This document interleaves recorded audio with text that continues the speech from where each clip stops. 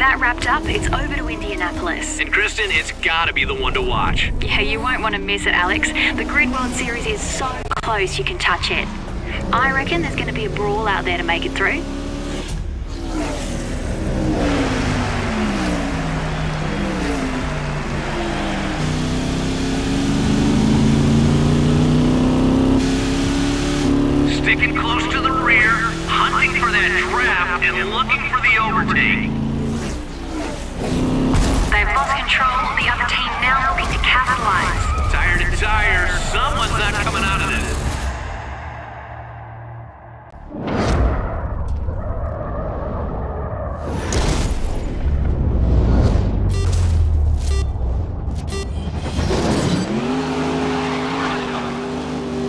Did you manage to get through that? Great driving. Now don't lose this advantage.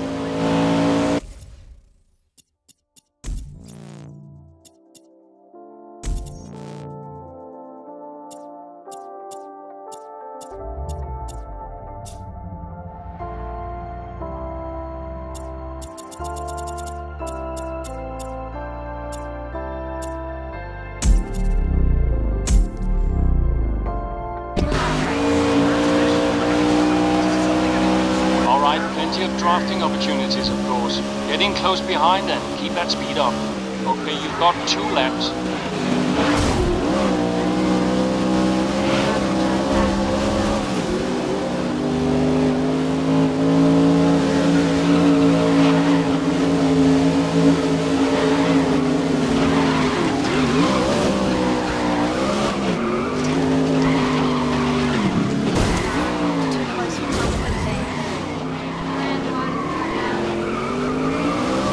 Your teammate has crashed.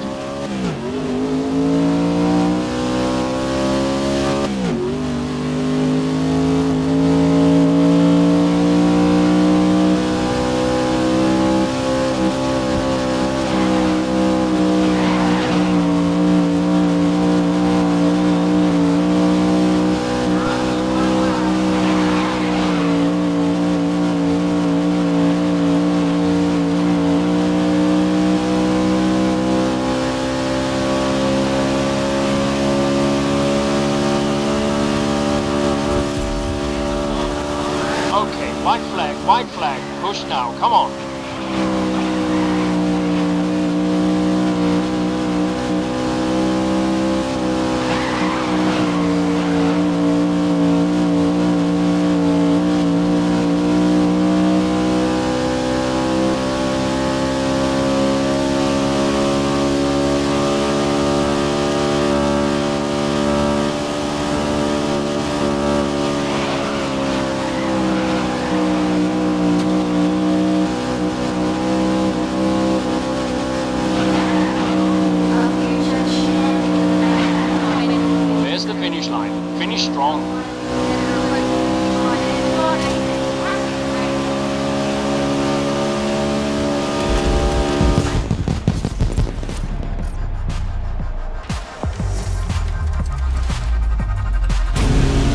And it's being settled at Brands Hatch, Kristen. The clouds may be grey, but the action will be as colourful as ever, especially given the added complexity of a waterlogged road surface.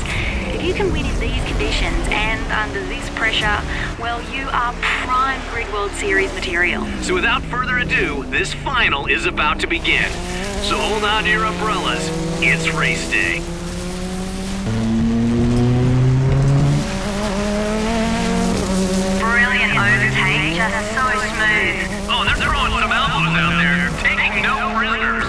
We got a driver heading off the tarmac. You're gonna lose some time. There.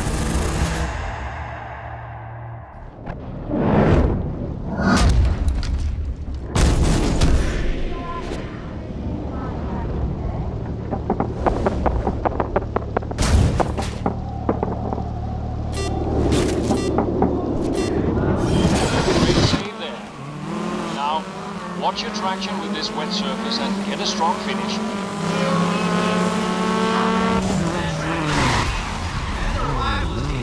Okay, don't be surprised if they're gunning for you now.